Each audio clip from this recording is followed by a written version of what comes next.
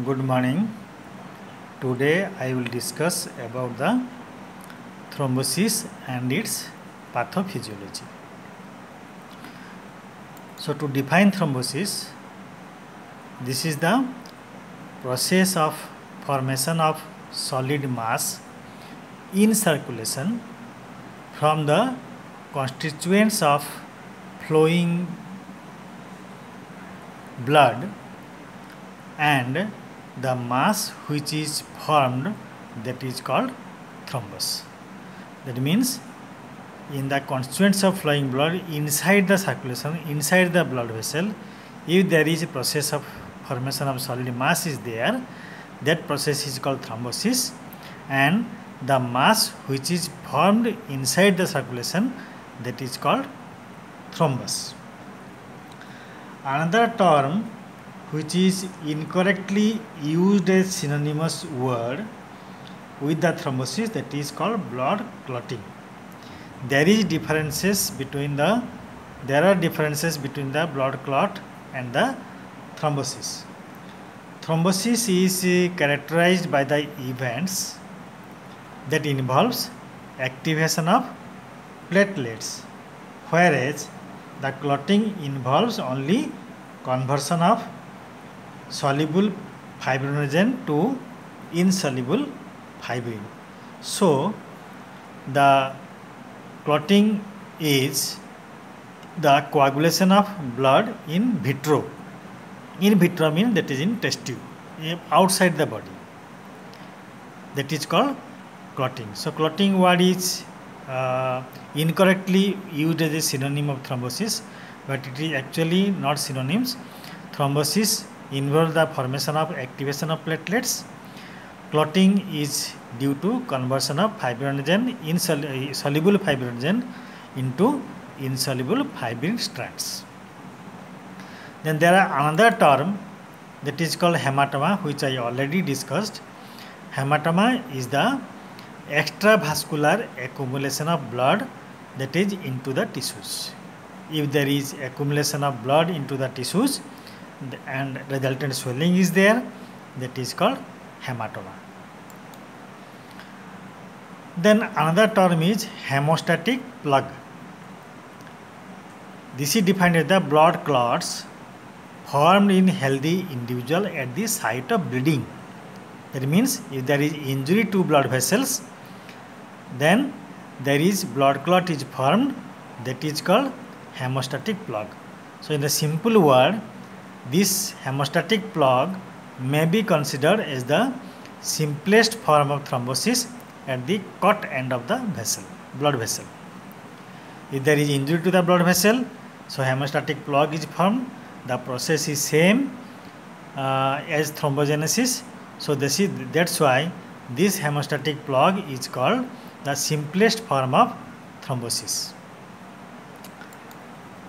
So hemostatic plug are useful because they stop escape of blood and plasma whereas thrombi which is developed in the unruptured cardiovascular system that is inside the cardiovascular system that is not ruptured that may be life threatening because of some harmful effects. So hemostatic plug because it is formed, formed in the site of injury. So that will stop the blood and plasma. So that is uh, life saving. But in, in hemostatic plug and uh, the thrombosis the process is same. So one process hemostatic plug saves the life by stopping the escape of blood and plasma. Whereas if the same process the thrombi is formed in the unruptured cardiovascular system so that may be life threatening due to the following harmful effects. Number one, that is ischemic injury. Secondly, that is thromboembolism. So in case of ischemic injury, that means if there is thrombi is developed, so that may decrease, that will obstruct the pathway, that may decrease or stop the blood supply to part of an organ or tissue and cause ischemia and that ischemia may result in the infarction. And what is thromboembolism? That is thrombus, the mass which is formed inside the vessel. So that is called thrombus. So this thrombus or its part gets dislodged and that may be carried, carried along the blood stream as embolus to lodge in the distant vessel and after lodging that may the same that may cause ischemic injury to that part. Now coming to what is the pathophysiology of thrombosis. You know that human being possesses inbuilt system by which the blood remains in fluid state normally and guards against the hazard of thrombosis and hemorrhage. That is our inbuilt system. The blood always remains in full state, that flows through the blood vessel and there are some mechanism which guards against the hazards of thrombosis and hemorrhage. However, if there is injury to the blood vessel, that immediately initiates the hemostatic repair mechanism or thrombogenesis that stops the bleeding from the site of injury. So, to explain this process of thrombosis, Virchow the scientist, he described three primary events which predispose to thrombus formation. That is called Virchow's, Virchow's triad. So, first thing is the endothelial injury. Second event is the altered blood flow. Third event is the hypercoagulability of the blood. So, this is the Virchow's triad that is endothelial injury, altered blood flow and hypercoagulability. So, to these three primary events there is addition of two activation of two systems that is the activation of platelets and the activation of coagulation system. These two activated system is added to these three primary events that is endothelial injury altered blood flow and hypercoagulability. Now coming to so i will describe one by one. So coming to endothelial injury uh, when there is injury to the vessel wall then the subendothelial extracellular matrix components these are these collagen uh, elastin fibronectin. So these are the extracellular matrix components in you know, uh, acronym we call it as ECM these are thrombogenic. And they play important roles in initiating hemostasis and thrombosis. But normally the integrity of blood vessel vessel wall is important for maintaining the normal blood flow. And there are some intact if endothelium is intact so most important thing is the endothelium must be intact. If endothelium is intact it has some uh, functions which uh, which causes the fluidity of the blood and there is no thrombosis. So, this intact endothelial wall protects the flowing blood from thrombogenic influence of the subendothelium. So, this subendothelium is always thrombogenic. So, if endothelial wall is intact, so that protects from the thrombogenesis. Secondly, uh, this endothelium release some anti-thrombotic factors like heparin, uh, thrombomodulin. So, anti this endothelium that release antithrombotic factors. So, in these two mechanisms, the endothelium, intact endothelium prevents the thrombogenesis. But if there is injury to the vessel, then this subendothelial extracellular matrix component will be exposed and these are highly thrombogenic. So, if there is injury to vessel wall, Secondly, second mechanism of the body is if there is when there is injury to vessel wall that causes vasoconstriction of small blood vessels briefly so as to reduce the blood loss. This is the second mechanism. Then this endothelial injury I think you can understand intact endothelium is very important. If there is endothelial injury that plays an important role in the formation of arterial thrombi and thrombi of the heart, especially of the left ventricle.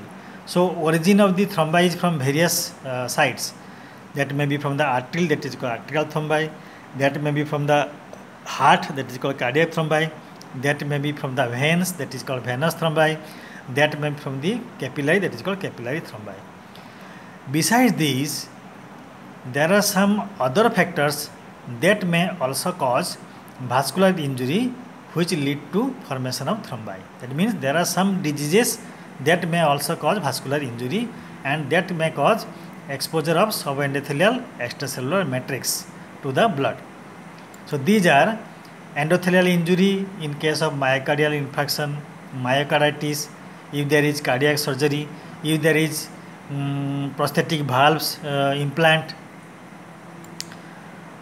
ulcerated plaques in advanced atherosclerosis atherosclerosis there is a hardening of the wall then hemodynamic stress in hypertension in that case also there may be vascular injury in case of arterial diseases diabetes mellitus also may cause vascular injury then there are some endogenous chemical agents that is hypercholesterolemia and there are some endotoxins that may cause vascular injury and finally there is some exogenous chemical agents such as cigarette smoke. So these are the factors which may cause vascular injury which exposes the subendothelial extracellular matrix which may cause the formation of thrombi.